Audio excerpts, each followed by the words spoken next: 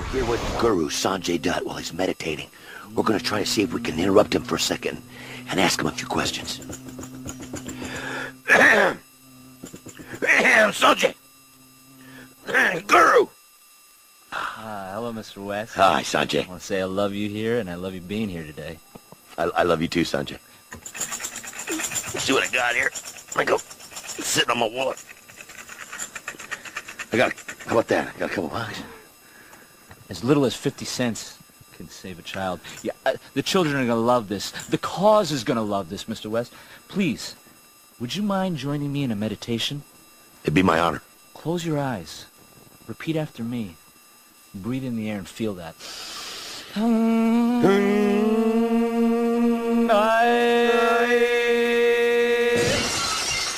you gonna do? You can't fight the future. Wrestling God. ProWrestlingRadio.com presents Are you talking to me? Pro Wrestling Radio live online. You think The Rock actually cares? What is he doing here? Oh, it's true. I'm bringing everybody with me.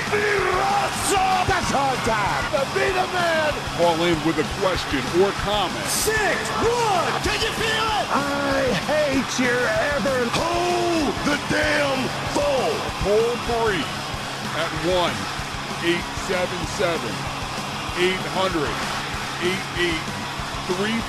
That's how I roll.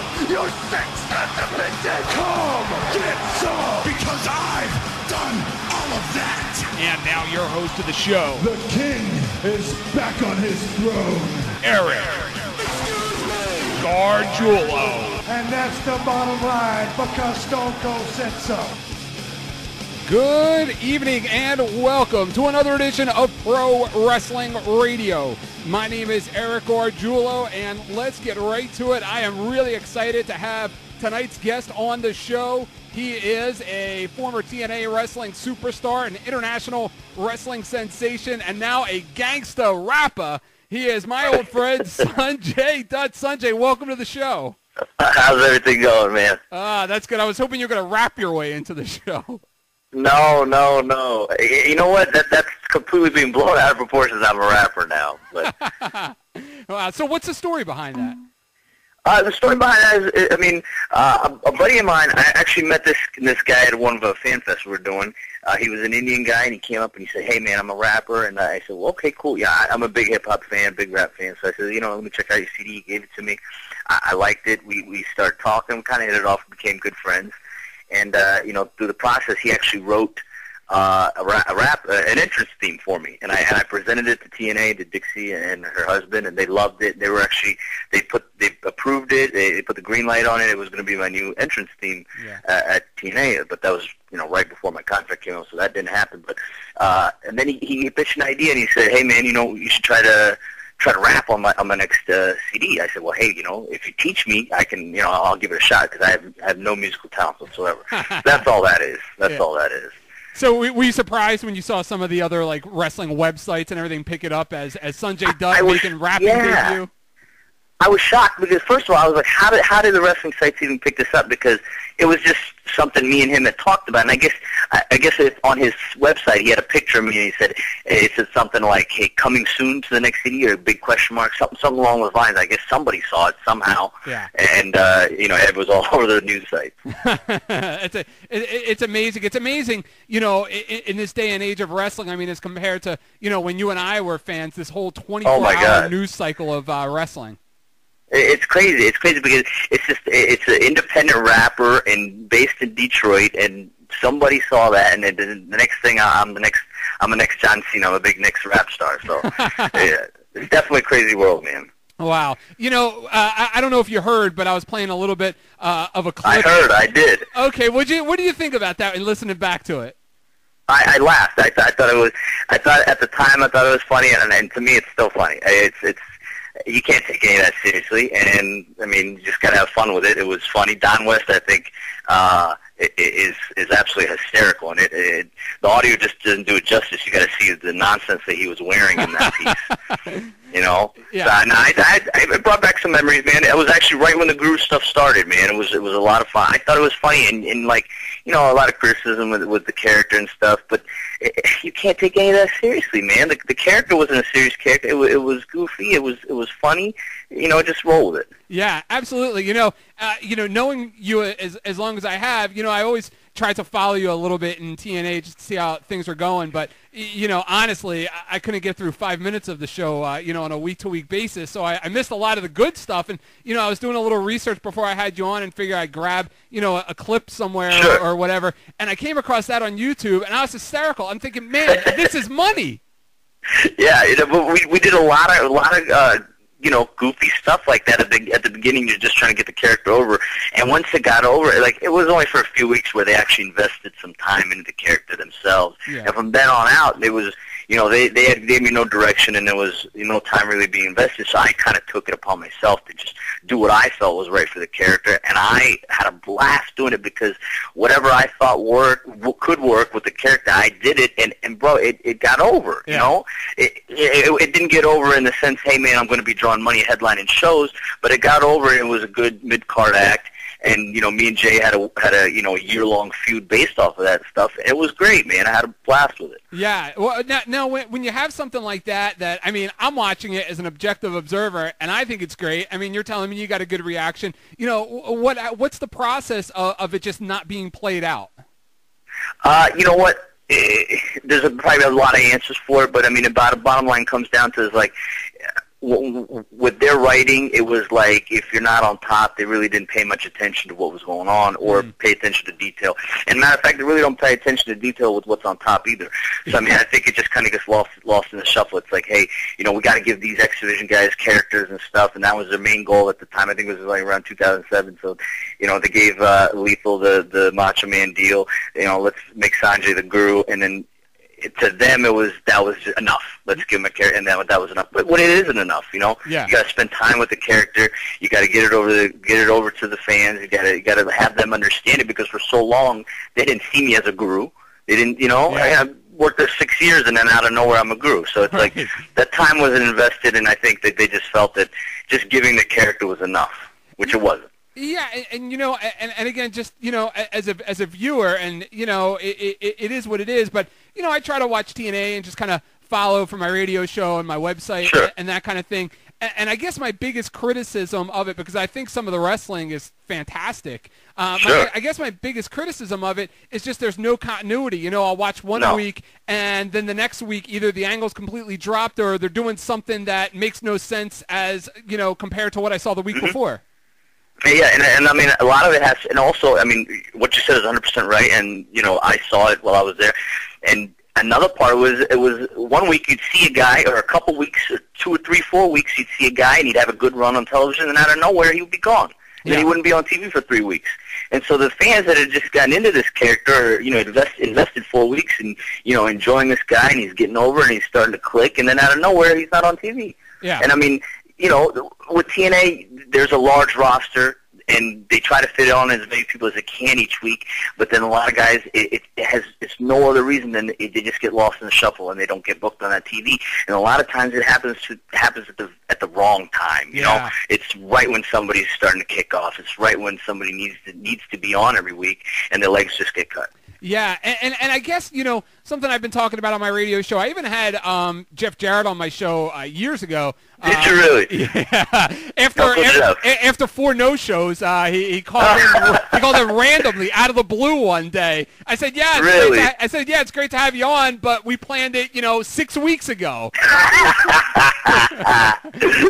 Jeff gets to you when he wants. Yes, absolutely. Um, you know, Yeah. and, and what I talked, you know, and what I expressed to him, and something that I've just kind of been, been accustomed to hearing from my callers is, I think there's a struggle with fans in that you know we watch guys like yourself and the Motor City Machine Guns and the, a lot of the X Division guys, and you get really into the match, and then you're kind of uh, suffocated more or less by you know the guys on top that have been there, you know, in the WWE Sure. that, that you're tired of seeing. And my contention has always been, and yeah, you know, maybe they don't know Sonjay Dutt today, Right. but you know, Right. if you had the patience as a company for, you know, three months, you know, even five, six months, and developed all of that young talent over time, I think that they could make a, a, huge dent in the wrestling world by presenting all of these new stars, a new athletic form of wrestling that is so different than what the WWE has. And yet, you know, I think what, what frustrates fans is, you know, it's kind of just a retread of whoever decided to get mm-hmm. released today is now a main eventer over here.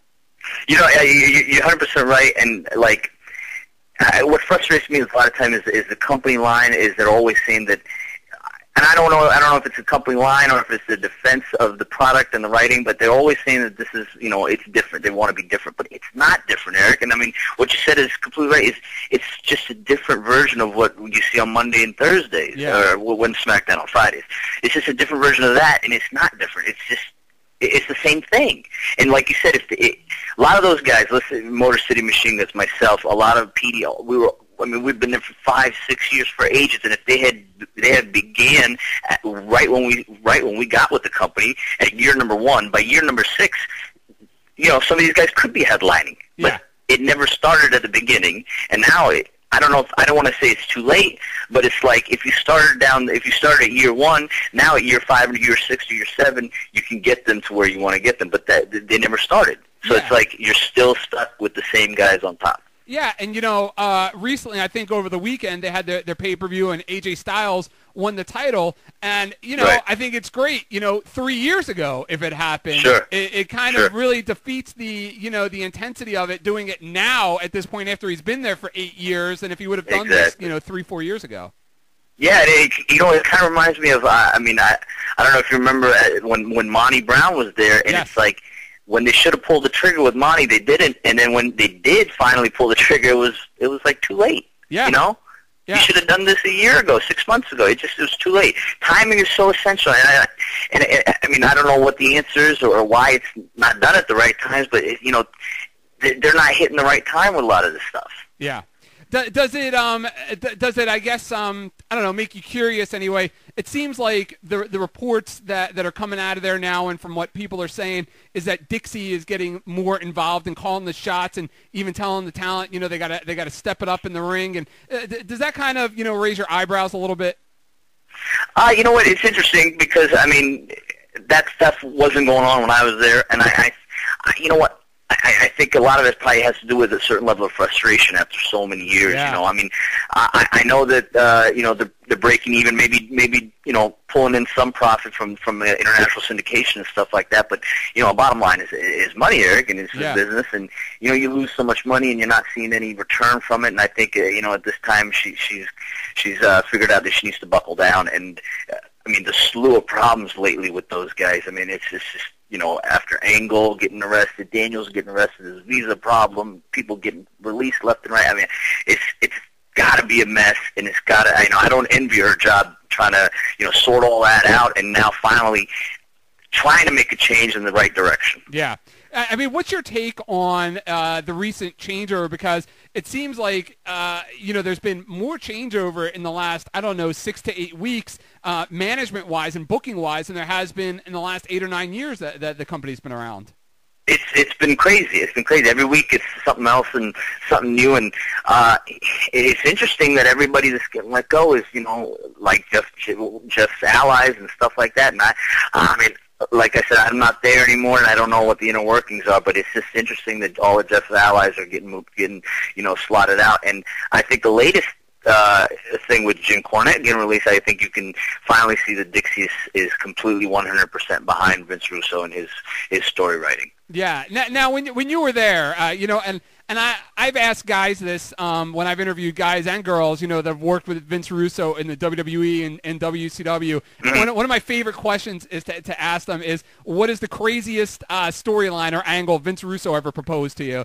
And I, you know, I've heard some good answers, I've heard some bad answers. Anything crazy he ever threw at you?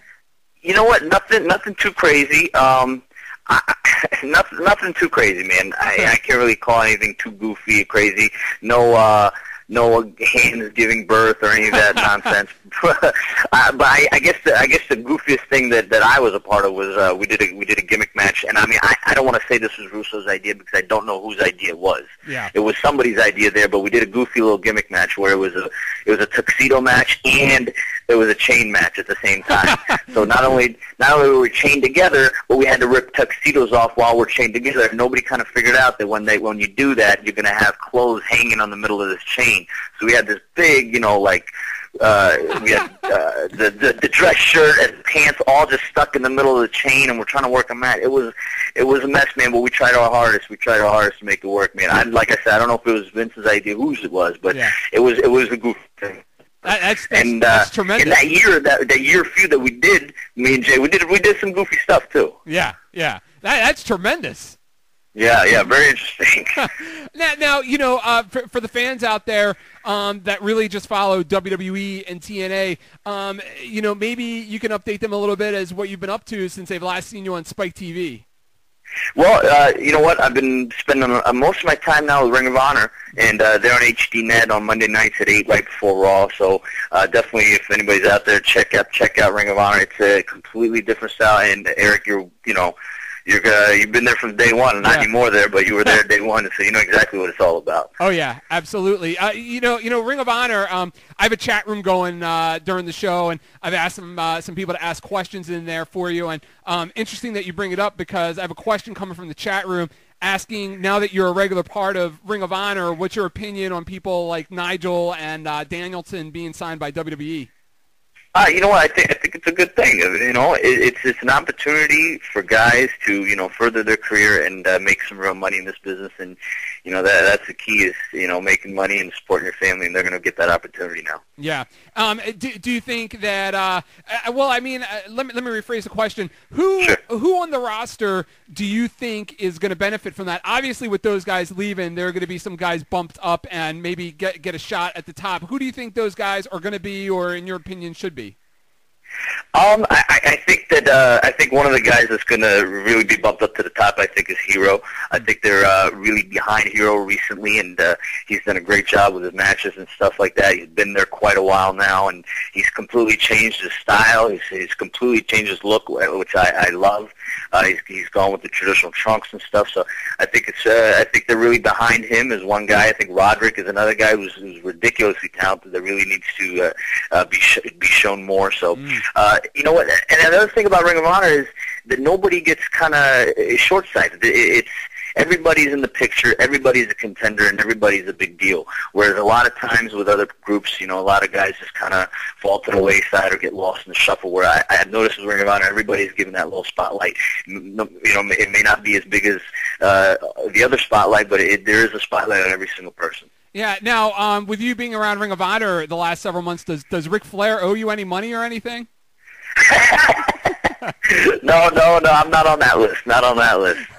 no, man. It, it, it was. It was. It, I tell you, it was. It was, uh, it was very interesting to uh, be on the shows with him, man. It was. It was the first time where I got some real interaction with the guy. It was. It was. It was cool. Yeah, that's what that's what I was going to ask you. You know, what, what was it like uh, being that close to the Nature Boy? It was cool, man. It was because you know the only other time I met him was it was once when I was backstage at uh, WWE, and you know that that's a completely different atmosphere. But Yeah. it was cool, man, just to see him sitting in the back, and you know it's kind of surreal when you you know you walk in the locker room, and there's Ric Flair just sitting there. So uh, you know, Yeah. it, it definitely cool. Uh, you know.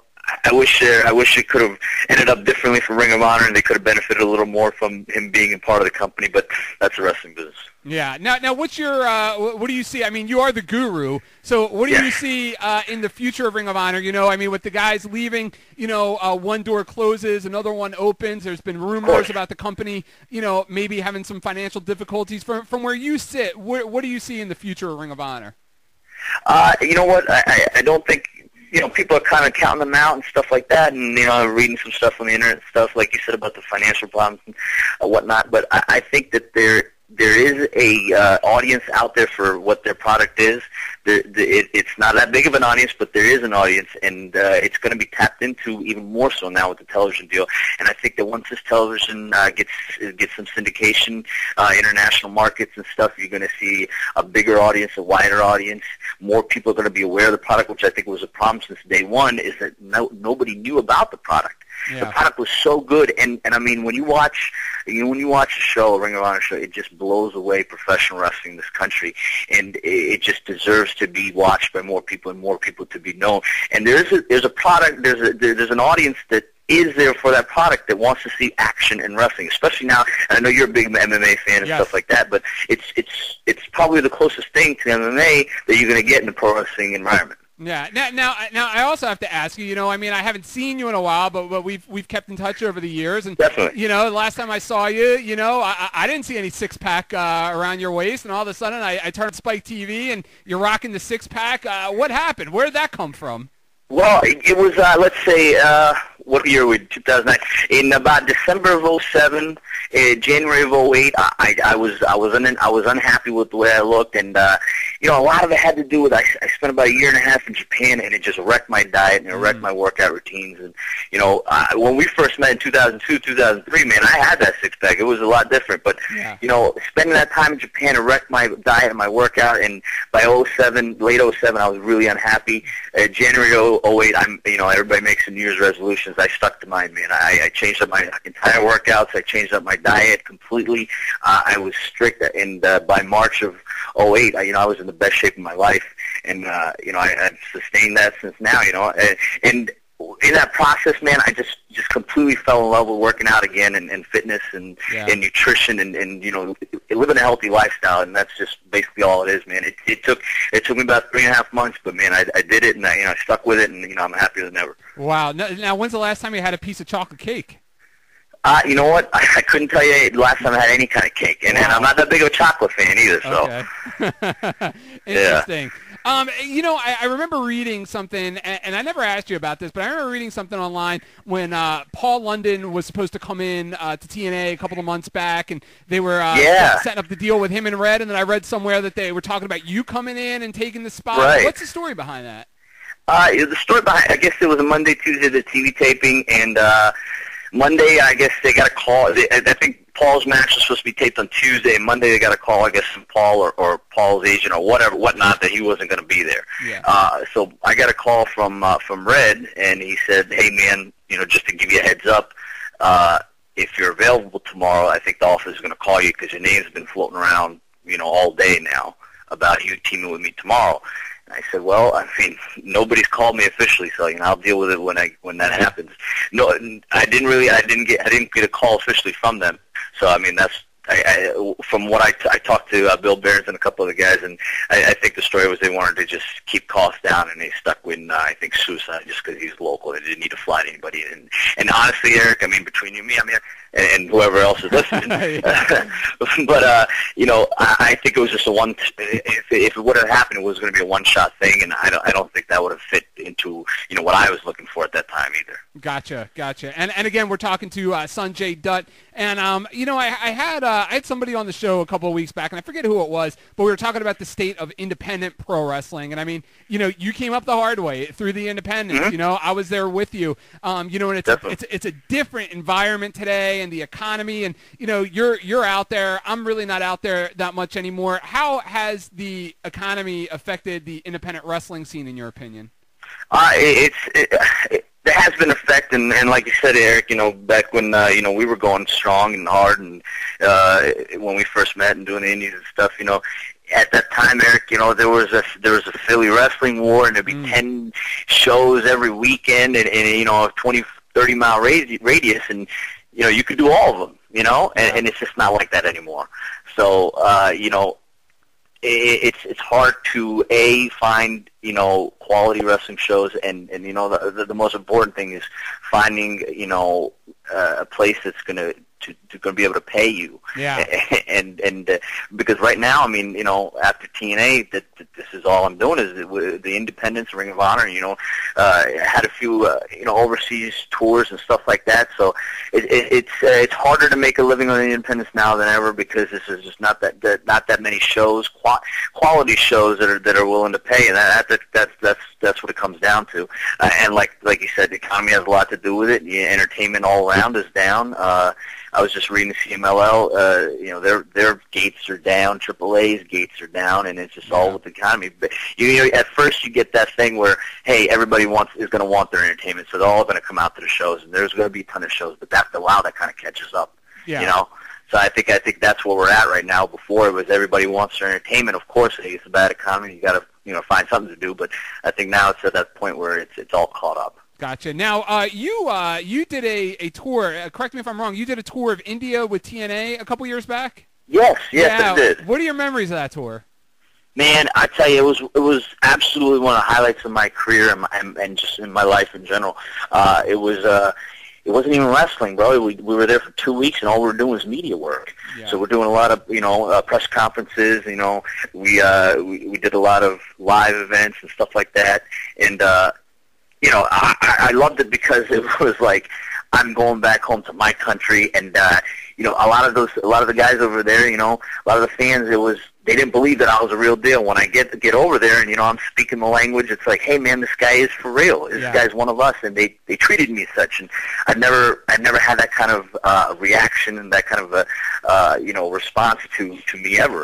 You know, I I felt like I was the rock over there, and it was just absolutely tremendous, tremendous experience. Wow. Um, you know, and I remember you and I talking about it at the time, and you know, uh, we were talking about maybe you parlaying that into some kind of a Bollywood career. Yeah, you yeah. know. Whatever happened with that? Yeah, yeah, definitely. Uh, you know what? At the time, the, the guy that ran the the network that we were on, we, we were on uh, ESPN Star Asia, and uh, you know he at the time was. Uh, I remember, you know, I remember we were talking about that. I told you that uh, he had a lot of contacts with Bollywood and stuff, and he, he was going to help me. And uh, I, I guess he doesn't work there anymore. So basically, that that went all my my Yeah. hopes and dreams, Yeah. you know. But uh, it, it's it's such a different market to get into, man. Especially living over here, you've got to know the right people. You got to you got to know uh, how to get into it. So, uh, and you know, with TNA last year, we kind of blew up, and we were so busy with house shows and, and and touring. We did a couple, we did tour of England and stuff like that. So, man, last last couple years have been uh, probably the busiest, and and uh, I've worked the most I've ever worked in my whole career. The last couple of years with TNA. So, you know, as long as I'm busy, man, I'm good. Yeah. So uh, that's the most important thing. Yeah. and Now, um, you know, sp- speaking of speaking of that, i i and this is something we've talked about too uh, over the years. It, it always amazed me that WWE never scooped you up because besides being incredibly talented and and you know and just having a, a world of potential that you do, it would just seem uh, absolutely it would just seem a natural fit by attacking the the market in India the way that they do, having somebody that speaks the language that's one of their own. I mean, what Rey Mysterio has done for them for the Exactly. Latino market, I, I, it amazes me that they haven't thought the same of you in that Indian market. I, you know what? I I hope somebody out there is, is listening to what you said, man. So, uh, but like you said, man, you know, I I I agree. I, I think I have a lot to offer. I think I have a lot to contribute to a company like that, where it's such a worldwide. And I mean, a lot of people say worldwide, but they are 100% legitimate worldwide, you know, entertainment entity. And I think I could definitely offer something and contribute that. You know, India is the biggest, most untapped market in this world. It's Yeah. a billion people, Eric. You know, Yeah. where else can you, you know, have a billion people? And you know, my, I'm the link to a billion people. So, you know, I, I hope somebody's listening out there that, that has some power and give me a call. Yeah, yeah, it, it's it's amazing. Um, you know, something I think about whenever anybody asks me about you on the radio show or, or, or just in conversation, I always think back, and and I'm, I would love to get your thoughts on this, to the ladder match you had in CZW with J.C. Bailey. And I look back on that, and I remember at the time it was, and I could be wrong on this, but it was right before you started wrestling for MLW, and it was like maybe just weeks before you uh, were scheduled to uh, wrestle for TNA. I think just in the dark match at the time. Yeah. And what I remember about that is that it was such a phenomenal match, and you had so many internet writers there, like PW Insider was there, and maybe somebody from the Observer, and everybody just went on the internet and raved about how great you were and how great your match was. And um, you know, I thought to myself, wow, you know, and then I saw all the opportunities you had afterwards. Right. I, I think that was really key into exposing you to the wrestling mass out there. You know what? I I, I remember specifically because uh, as soon as we got done uh, that weekend, that week, I think you had called me and said, "Hey, man, Mike Mike Johnson, I think is his name." Yes. from PW. He said, "Hey man, he he kind of really put you over on the on the internet." And I, you know, it was new to me. I, ch- I checked it out. And you, you know, I I totally agree with you. You know, uh, he had a lot of good things to say, and I think that that kind of held a lot of weight with the internet community. And that's when things started rolling, man. That that late t- late 2003 was when things just kind of kind of really really blew up, man. I remember at the time I was still in school as well, and I, you know, after that and after the MLW stuff, you know, I'm still a full time student in school, and I was doing about 14 to 15 shows a month, and that, and that was, you know, just independence and stuff. And when TNA started, things really things really did take off. And uh, yeah, and, and I remember speci- specifically right before that match with JC Bailey, I'm thinking, what the hell? this is a ladder match with a guy that that wrestles barefoot and thumbtacks. What is you know what are we gonna do? Right. What have I what have I got myself into? You know. So uh, it turned out really good, man. And JC's a hell of a guy. Yeah, yeah.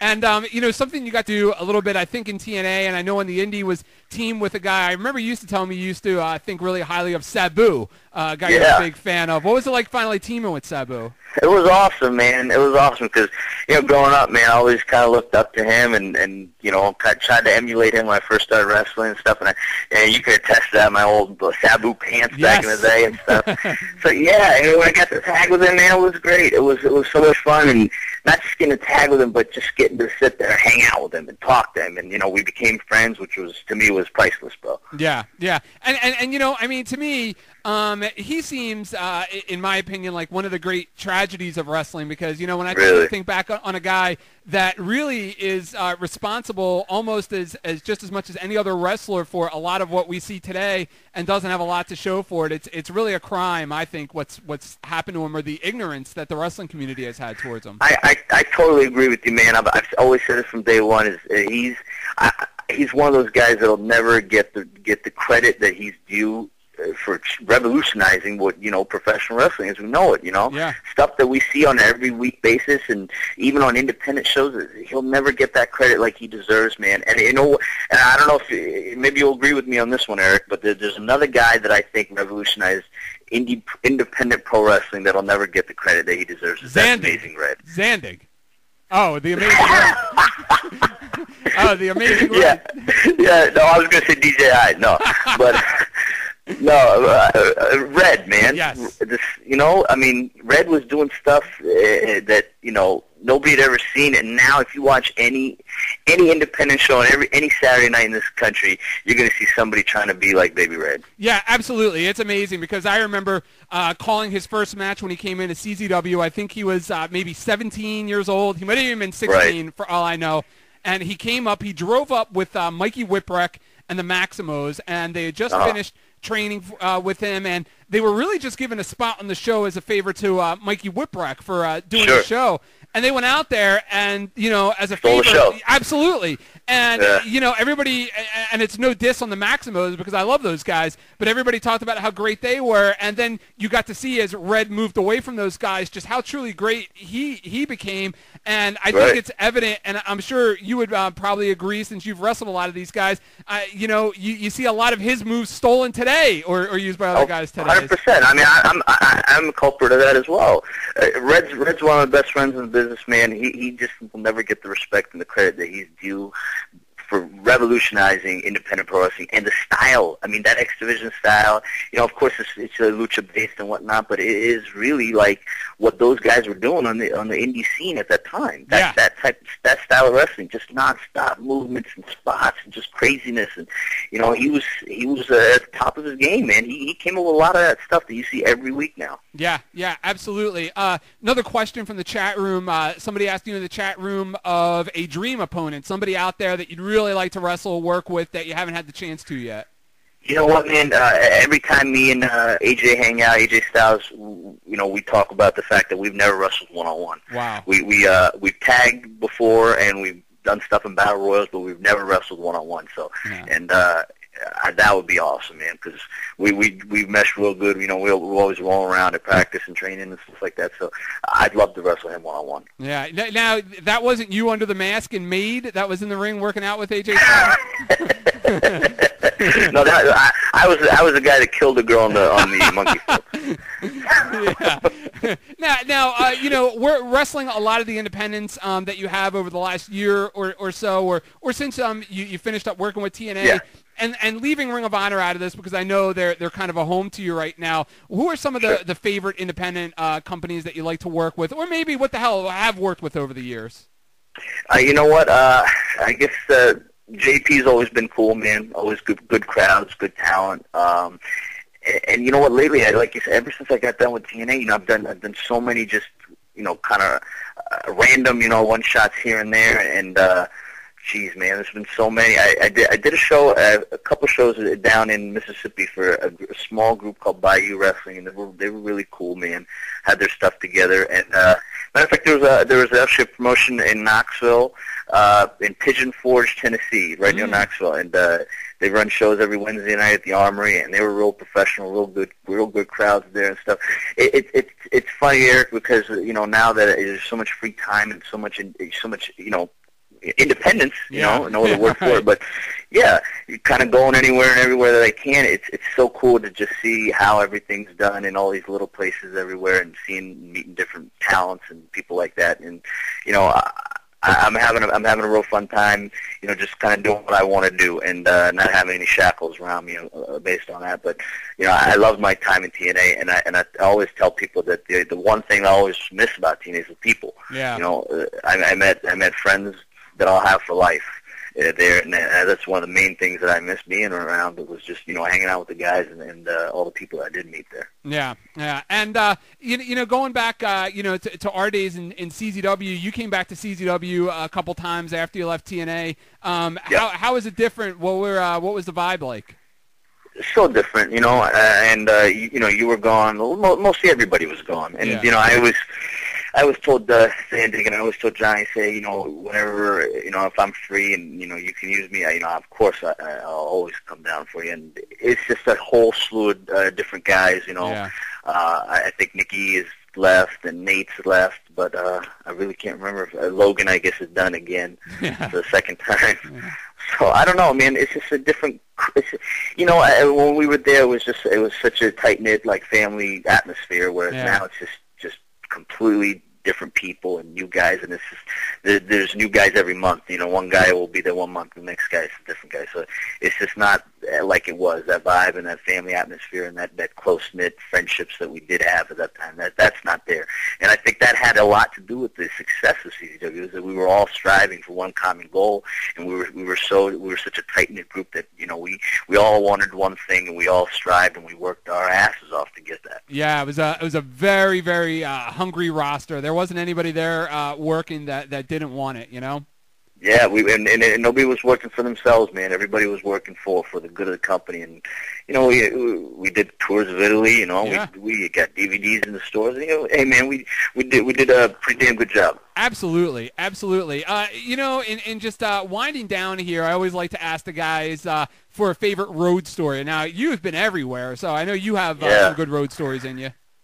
Jeez, man, I, you know what people always ask me that, and I, I really can't come up with one right off the bat. Uh, I, I'll tell you, I'll tell you very recently because this is in my head. Okay. Um, I, I was in Egypt uh, last month, and uh, we we uh, we did three shows in uh, Alexandria, which was it was it was gorgeous. It was right off the Mediterranean Sea, and uh, I was at a little resort, and uh, everything was going well. And the, the day of the last show, there's uh there's rumors that we're not getting paid. Oh, So, so you know how that goes. Yeah. Uh, so uh, it's about seven o'clock. Everybody's meeting to ready to go to the show, and you know nobody's changed. And by the time by by the time it's like ten forty five at night, and no show has started, and the promoter comes in, and the guy that owns the resort comes in, and it was just it was a mess, and people are yelling at each other in Arabic back and forth, and it's getting hot and heavy, and you can't understand anything that's being said. It, it was surreal. Which reminds me of another story. And Eric, were you there in Italy with John and the I, guy? I was not on that tour. That was the next You were not on that one. Yeah, no, I was not on that one. But I mean, I would love to hear the story told on the air. That one was absolutely crazy. So, uh, I mean, you you obviously know the story, but I'll. I'll, I'll try to give a short version. So we get to Italy, and uh, one more one more time, you know, we, rumors that we're not getting paid. Yeah. So, and this is the entire CZW roster. I mean, Wife Beater's there, Nate's there. You know, the entire CZW roster gets in a room with the promoter of that tour. I think it was only one show. I think we were there for like two or three days, and they get in the room. He doesn't speak any English. There's an interpreter that's uh, interpreting everything the guy's saying, and basically saying he he don't got the money, this and that. So John Zandig proceeds to slap the ever living shit out of this little guy. This guy had to be five five, uh, and uh, don't doesn't speak English, Yeah. skin and bones, and and John slaps him across the face and cuts the Zandig promo. I mean, I, I thought he was going to do the pose next. You know, it was it was classic, and he slaps him hard as hell. Wife beater and Nate are trying to rip his suit off, thinking they can pawn it for some money. Yeah. Wife beater's checking out his watch, seeing how much he could get for that. They start pulling his shoes off. They oh. grab his briefcase, try to open his briefcase, try to see what they can get out of there.